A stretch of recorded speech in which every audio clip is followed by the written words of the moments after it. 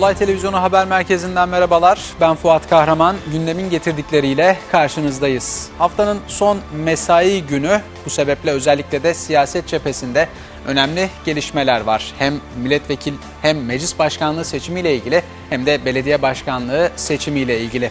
Daha sonrasında yine ajanslara çarpıcı görüntüler, çarpıcı haberler de düştü. Bunları da ekranlarınıza getireceğiz. Ama önce gündemin getirdikleri başlıklarla başlıyor.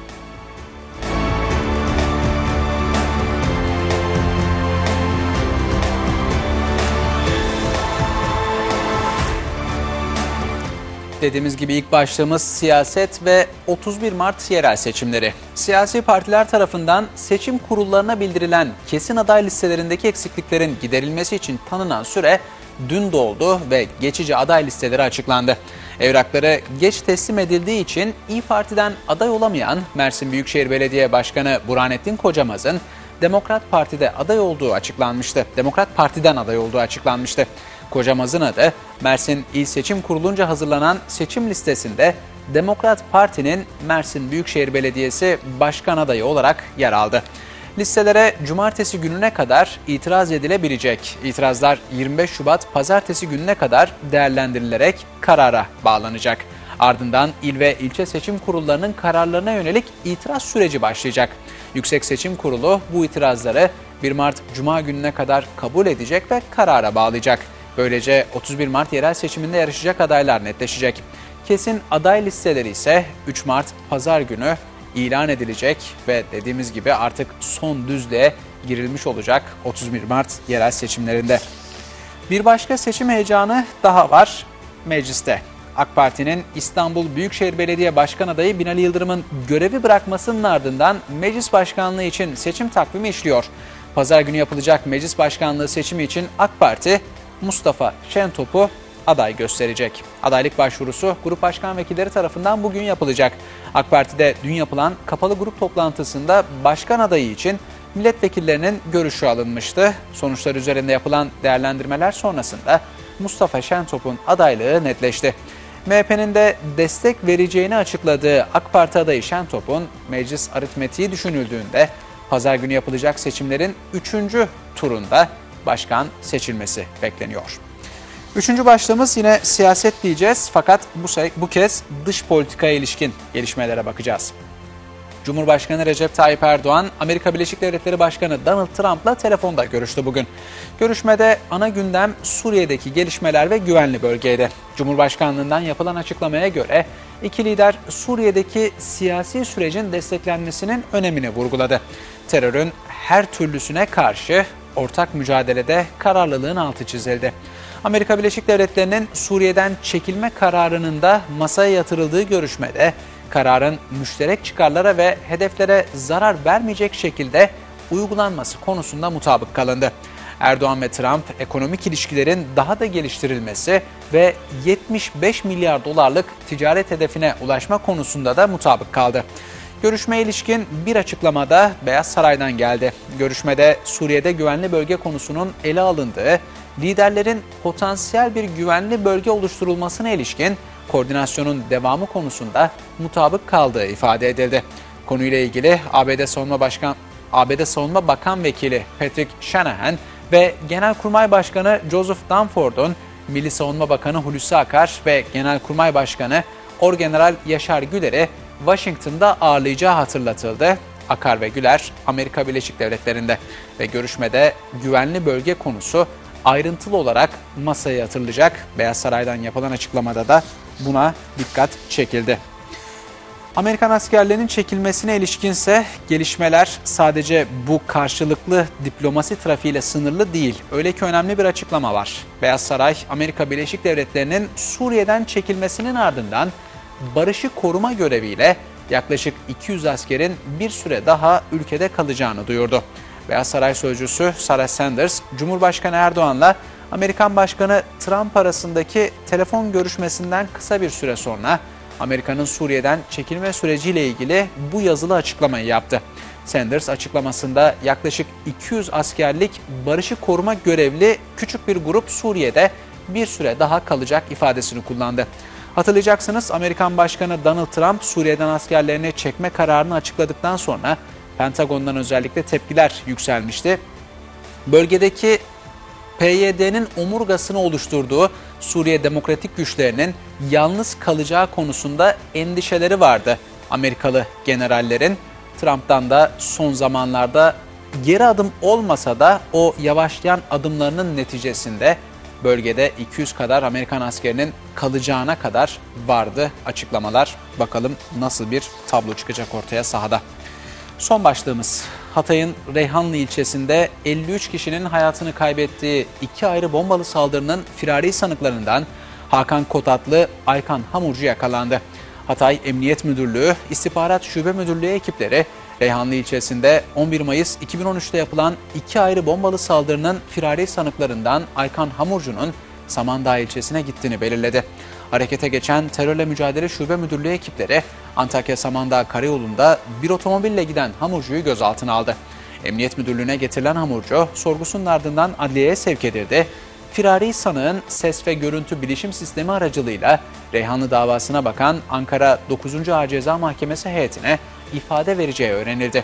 Saldırının sanıklarından Yusuf Nazik de geçen yıl MİT tarafından Suriye'de düzenlenen operasyonla yakalanarak Türkiye'ye getirilmişti. Gündemin getirdikleri Twitter gündemiyle devam ediyor.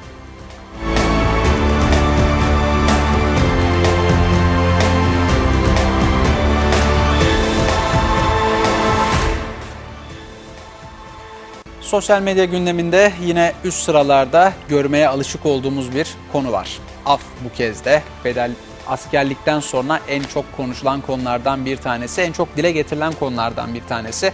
Af yine bugün sosyal medyada en üst sıralarda yer alıyor. Cumhur İttifakı af sözünü tutsun başlığıyla af bekleyen kişiler ve kişilerin yakınları sosyal medyadan taleplerini iletiyorlar. Bu konuyu bir kez daha hatırlatıyorlar. Ekvador'da 7.7 diye başlayan bir haber başlığı var sevgili izleyenler. Çanakkale'de yaşanan depremin ardından Türkiye'de deprem endişesi artmışken korkutan deprem haberi bu kez de Ekvador'dan geldi. 7.7 şiddetinde bir deprem yaşandı Ekvador'da. Fakat haberin daha çok tartışılan kısmı depremin büyüklüğünden, şiddetinden ziyade Çanakkale depreminden hemen önce bir deprem tahmincisinin yapmış olduğu açıklamanın hatırlatılması oldu. Öyle ki o deprem tahmincisine göre 21 Şubat'tan sonra dünyada 7 ve 8'den daha büyük şiddette bir deprem meydana geleceğine, buna neden olarak da 3 gezegenin aynı hizaya gelerek çekim kuvveti oluşturacağını öne sürmüştü. Bu açıklama çok konuşuldu. Çanakkale'deki depremden sonra da özellikle Türkiye'de çok ciddi manada gündem etti. Fakat bunun üzerine Ekvador'da yaşanan 7.7'lik deprem özellikle o deprem tahmincisinin yine Twitter'da sosyal medya gündeminde fazlaca konuşulmasına sebep oldu. Son başlığımız yine spor dünyasından FIFA'dan Chelsea'ye diye, Chelsea diye başlayan haber başlığı. Gönül isterdi ki dün UEFA Avrupa Ligi'nde temsilcilerimizin galibiyeti ve sonrasında tur atlamaları yaşansaydı ve onların zafer mesajlarını burada konuşuyor olsaydık. Fakat ne yazık ki hem Fenerbahçe hem Galatasaray kupadan elendi. Haliyle sosyal medyada Türk spor tutkunları sessizliğe bürünmüş durumdalar. Üzüntü hali var. Fakat spor camiasının yakından takip ettiği haber bu kez yurt dışından geldi. FIFA'dan Chelsea'ye ceza kesildi. Yapılan soruşturma sonucunda finansal fair play'e takıldı İngiliz kulübü de ve iki sezon transfer yasağı getirildi. Bu konuda sosyal medyada en çok konuşulanlar arasındaydı. Gündemin getirdikleri devam ediyor.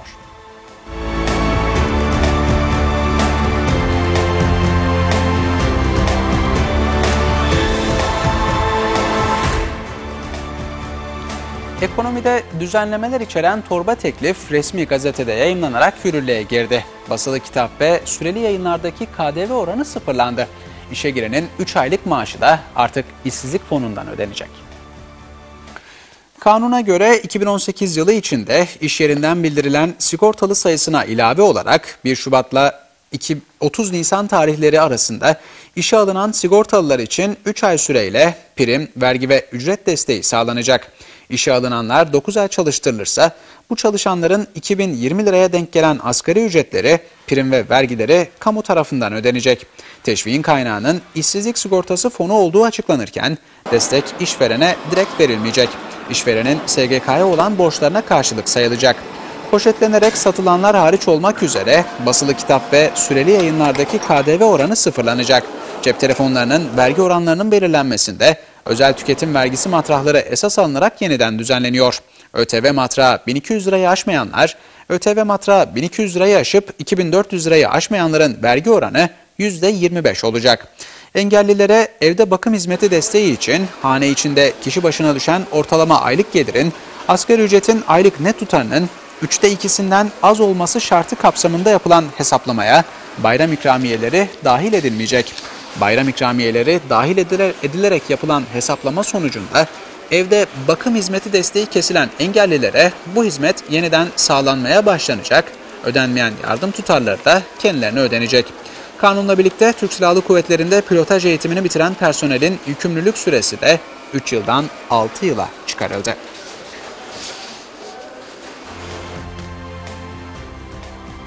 Cumhurbaşkanı Başdanışmanlığı, Büyükelçilik ve general atamalarıyla hakim ve savcı atamalarına ilişkin kararlar resmi gazetede yayınlandı. Profesör Doktor Vedat Bilgin, Cumhurbaşkanı Başdanışmanlığına atandı. Cumhurbaşkanı Recep Tayyip Erdoğan'ın imzasıyla resmi gazetenin bugünkü sayısında yer alan kararlara göre Cumhurbaşkanı Başdanışmanlığına Profesör Doktor Vedat Bilgin atandı. Endonezya nezdinde Türkiye Cumhuriyeti Büyükelçiliğine Mahmut Erol Kılıç'ın ataması gerçekleştirildi. Genelkurmay Muharebe Elektronik Bilgi Sistemleri Başkanı Tu General Göksel Sevindik de NATO Muhabere ve Bilgi Ajansı Kurmay Başkanlığı'na atandı. Hazine ve Maliye Bakanlığı'na açık bulunan veri müfettişliklerine yapılan yeterlilik sınavında başarı gösteren vergi müfettiş yardımcılarının da ataması gerçekleşti. Hakim ve Savcılar Kurulu'na ait atama kararları da resmi gazetede yer aldı. Buna göre 19 hakim ve savcı adayının ataması gerçekleştirildi.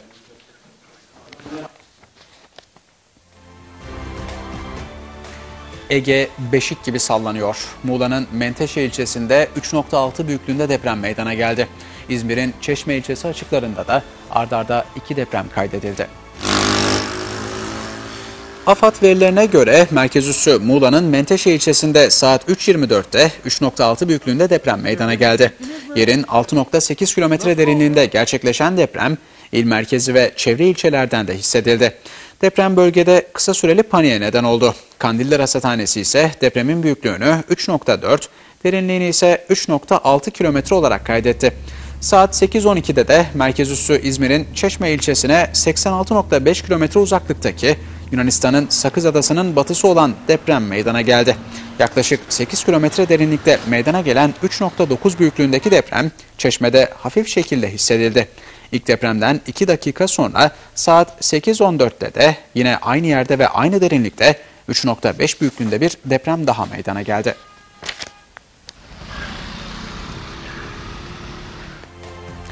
İstanbul Bayrampaşa'da hızla ilerleyen otomobil caddeye çıkan otomobile çarparak savruldu. Çevredeki iki aracın da hasar gördüğü kazada 4 kişi yaralandı. O anlar güvenlik kameralarına da yansıdı.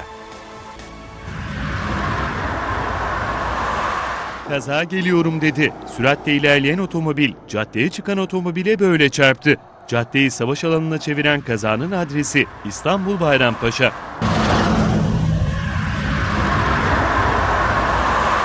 Kaza akşam saatlerinde meydana geldi. Hızla gelen otomobil park halindeyken yola çıkan araca çarptı. Savrulan araçlar sürüklendi. Çevredeki iki araç daha hasar gördü.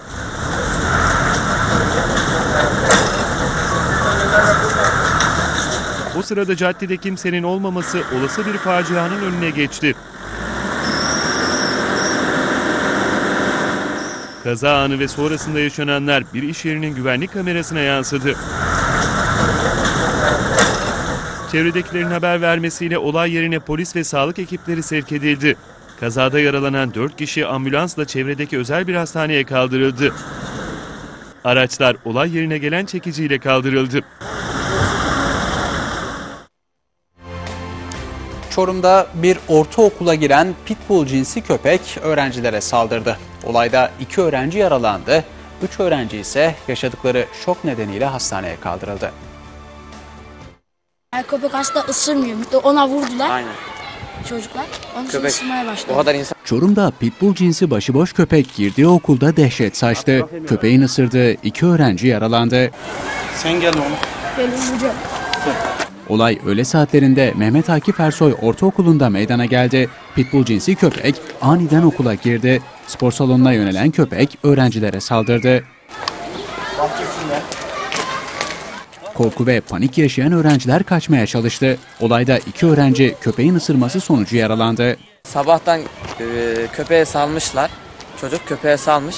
Salınca da köpek buraya geziyormuş buralarda. Gezerken de e, burada insan topluluğunu görünce koşmuş oyun oynamak için. Birkaç kişiyi ısırdı yani. İhbar üzerine okula polis, belediye ve sağlık görevlileri sevk edildi. Spor salonundaki köpek belediye ekipleri tarafından yakalanıp barınağa götürüldü. Köpeğin ısırması sonucu yaralanan iki çocuk ambulanslarla Hitit Üniversitesi Erol Olçok Eğitim ve Araştırma Hastanesi'ne kaldırılarak tedavi altına alındı.